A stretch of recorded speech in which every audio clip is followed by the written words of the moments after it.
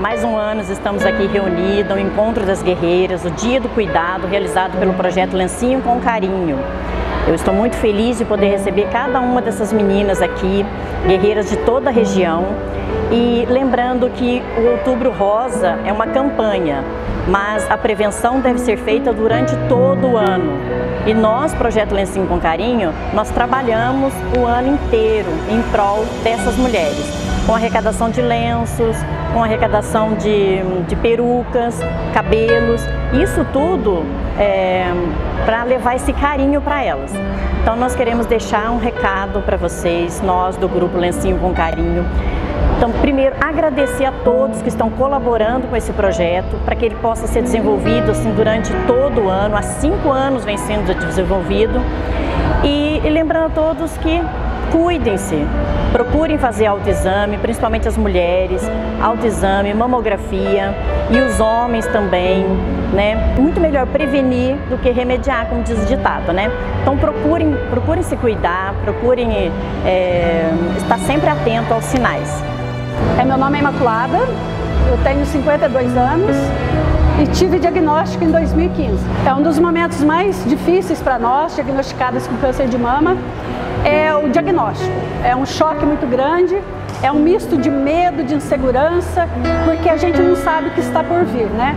No meu caso foi no exame de rotina e eu quero que vocês saibam que não foi no mês de outubro, foi sem ser o mês de outubro, que é um mês que todo mundo está voltado para o câncer de mama, mas é um nódulo que eu já vinha acompanhando há algum tempo.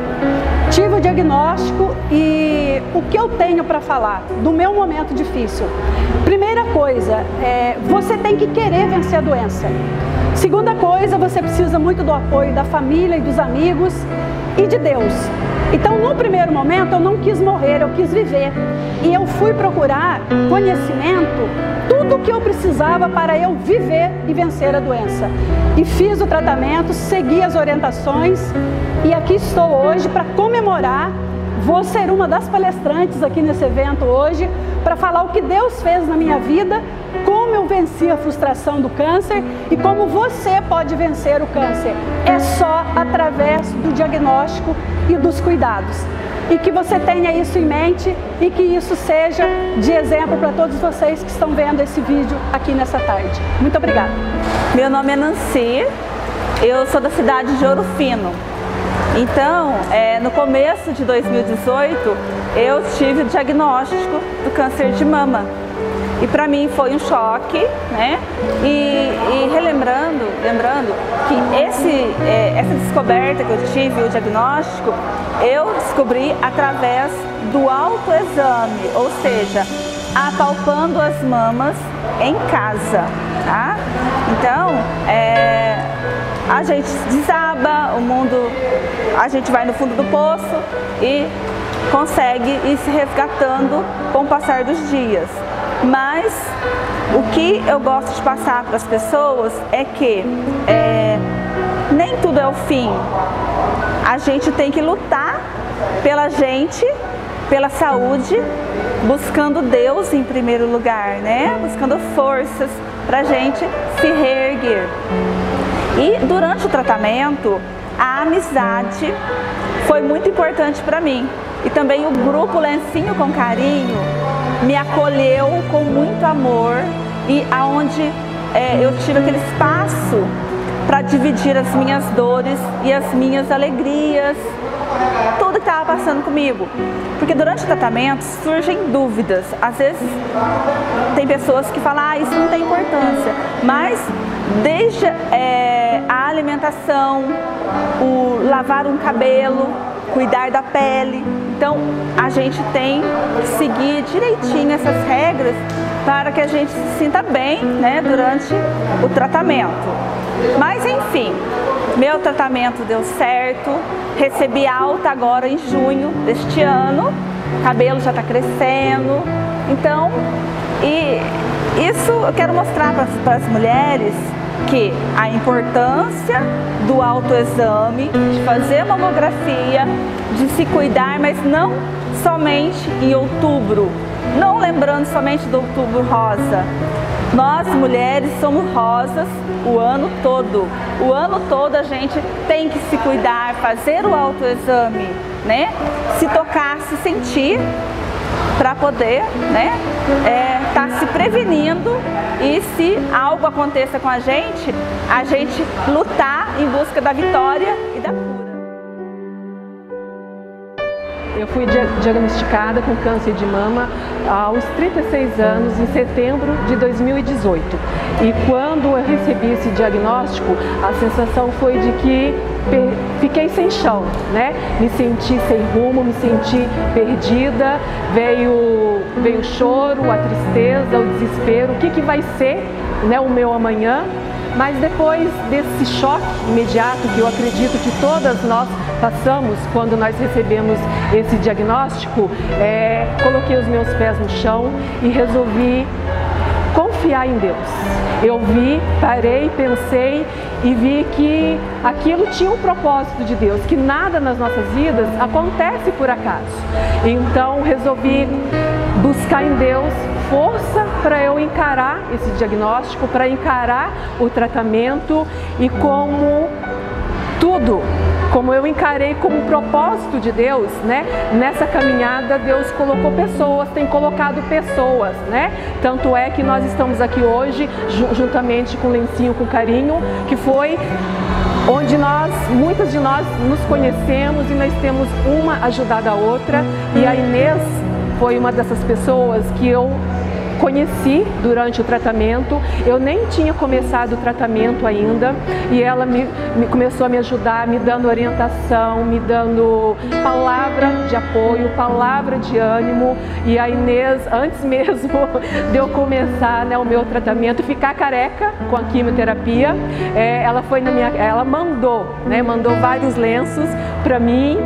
É, então, uma das coisas que eu acho maravilhosa no meio do câncer é, é essa humanidade que a gente descobre, esse sentimento né, de, de uma se sensibilizar com a outra, de uma querer ajudar a outra.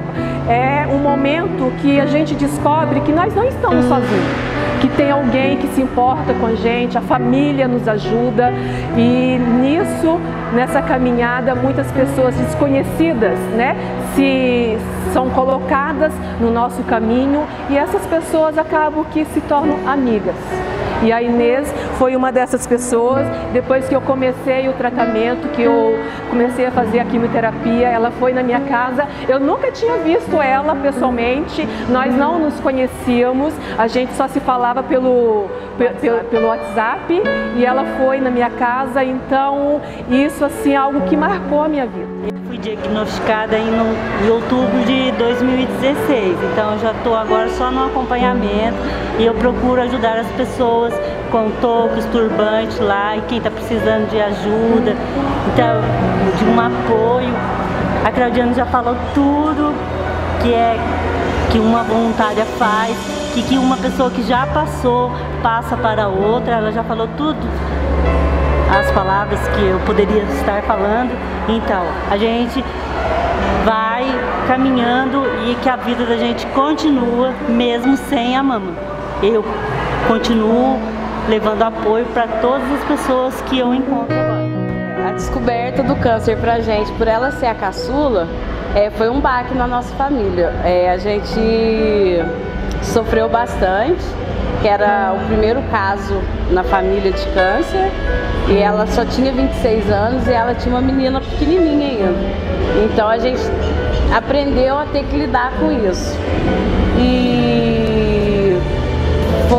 uma fase assim que a gente tinha que passar força para ela e ao mesmo tempo a gente sofria. A gente tinha que esconder isso dela e passar força para ela ao mesmo tempo. A gente chorava escondido e passava força para ela. Então foi bem difícil mesmo, mas ao mesmo tempo a gente confiava em Deus, a gente entregava na mão de Deus porque a gente tinha confiança que Deus sabia o que fazia. E porque a gente cria assim que Deus sempre tem propósito para todas as coisas. Então a gente confiava assim que alguma coisa a gente tinha que aprender com isso.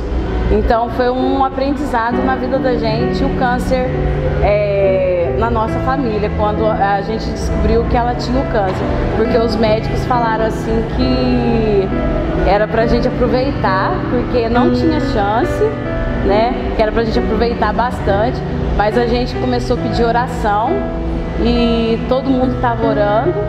E o que o médico disse acabou sendo que não foi o que ele disse. E ela está aqui para provar que a medicina às vezes fala uma coisa, mas Deus tem propósito para outras coisas.